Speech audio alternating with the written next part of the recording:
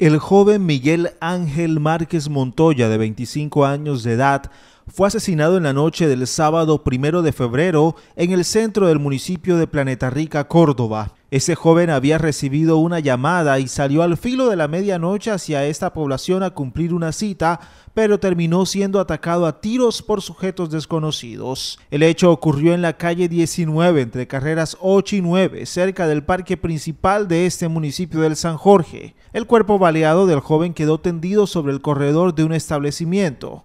Hasta el momento no hay un pronunciamiento oficial de la policía de Córdoba sobre ese asesinato y las autoridades se encuentran realizando las investigaciones pertinentes. Extraoficialmente se indicó que el joven asesinado era hijo del concejal de Buenavista, Roger Márquez Chegne. Sin embargo, esta información no fue confirmada por la policía de Córdoba.